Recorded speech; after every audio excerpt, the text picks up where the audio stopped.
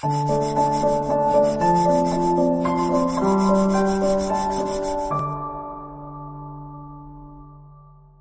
期，宝骏连续放出了两款新的车型，其中有一款就是前几天被刷爆网络的 CN 202C。据悉，这款车已经被命名为宝骏 RC6。作为宝骏旗下的首款中型轿跑车，RC6 确实有着非常靓丽的外观，接近五米的车长，配合大溜背的造型，让 RC6 有着强烈的质感。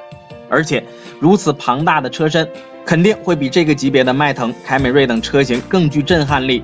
虽然目前 RC6 还没有太多的具体信息，但是仅凭借着外观就已经能够俘获很多人的眼球。再加上新的钻石车标，远比马头标要有高级感，RC6 很有可能会是下一个爆款。当然，宝骏目前并没有明确该车的定位，它很有可能不是一台纯正的轿车，而是跨界车型。虽然 RC6 已经成功的吸引了大众的目光，不过它的动力可能会成为制约其销量的最大掣肘。因为它将会搭载一百零八千瓦的 1.5T 国六发动机，虽然6.7升的油耗表现不错，但毕竟是一台接近五米的车，这个动力确实显得有些捉襟见肘。